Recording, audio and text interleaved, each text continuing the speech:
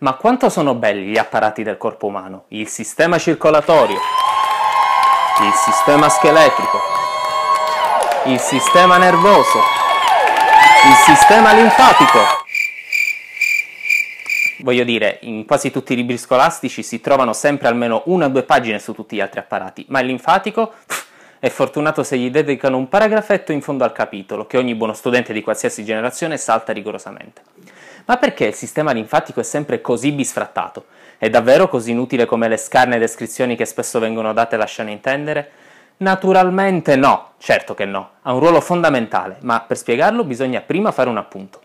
Affinché i nutrienti presenti nel sangue possano raggiungere i tessuti è necessario un certo grado di permeabilità a livello dei capillari, le ramificazioni più piccole dei vasi sanguigni. La parete di tali capillari è semipermeabile, ovvero si lascia attraversare dai liquidi ma non dai soluti all'interno degli stessi, che prenderanno altre vie. Quando due recipienti separati da una membrana semipermeabile contengono due liquidi con concentrazioni di soluti differenti, si viene a generare la cosiddetta pressione osmotica, che sposta il liquido dal recipiente con concentrazione minore a quello con concentrazione maggiore, in modo da renderli equivalenti. Poiché l'ambiente interstiziale dei tessuti che circonda i capillari è molto più concentrato del sangue, la componente liquida dello stesso tende ad uscire nello spazio interstiziale, causando una condizione nota come edema, in cui tutti i tessuti tendono a gonfiarsi e comprimere le strutture circostanti. Tale processo viene parzialmente compensato dalla presenza nel sangue dell'albumina, proteina il cui compito è proprio quello di compensare il gradiente osmotico generando la cosiddetta pressione oncotica, evitando così la comparsa dell'edema. Questo sistema da solo però non è sufficiente, per cui l'acqua tende ad accumularsi lo stesso. Mm, se solo avessimo a disposizione un sistema di scarico che permette di raccogliere i liquidi in eccesso e convogliarli nuovamente nel flusso sanguigno, oh! ecco dove entra in gioco il sistema linfatico. Esso possiede una rete di vasi sovrapponibili a quella del sistema circolatorio, con capillari che si riuniscono in vasi sempre più grandi. Il suo ruolo è proprio quello di raccogliere i liquidi in eccesso che si accumulano nei tessuti e li convogliano verso il dotto toracico, che, assieme al dotto linfatico destro, rappresentano il punto di comunicazione tra sistema linfatico e sistema cardiocircolatorio. Quindi è questa la funzione del sistema linfatico? Uno scarico secondario? Hmm, parlami di deludente. Aspettate però, c'è dell'altro.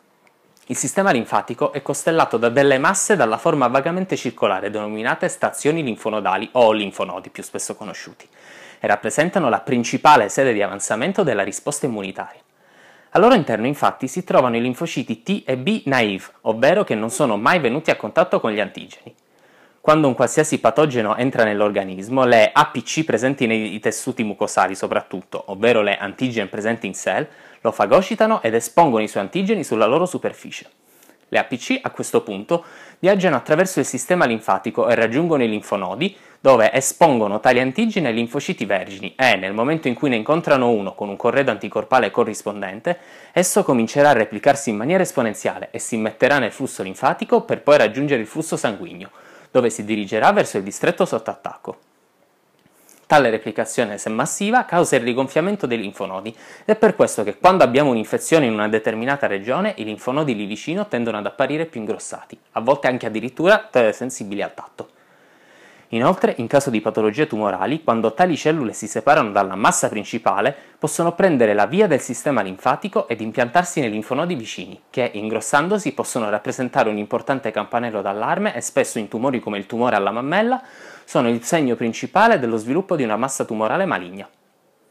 Ok, quindi abbiamo sistema di scarico e gestione, della difesa immunitaria, non male direi, però aspettate, c'è ancora dell'altro.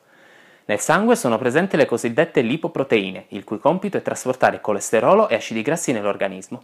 Ne avete sicuramente già sentito parlare sotto forma di LDL e HDL, ma non vi sono solo queste.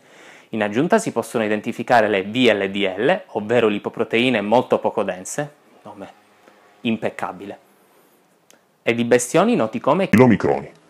Questi vengono prodotti a livello della mucosa intestinale per l'assorbimento degli acidi grassi e sono talmente voluminosi da non riuscire a passare nei capillari sanguigni.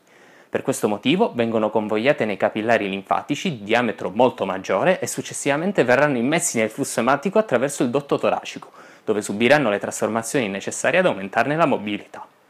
E anche per oggi abbiamo concluso, spero sia stato istruttivo e di vostro gradimento, in caso affermativo mettete mi piace e iscrivetevi al canale, questo mi dice che sto facendo un buon lavoro, e non dimenticatevi di seguirci anche su Facebook e su Instagram, e se vi piacciono i nostri design potete trovare queste belle magliette nel link sottostante. È tutto per oggi, alla prossima!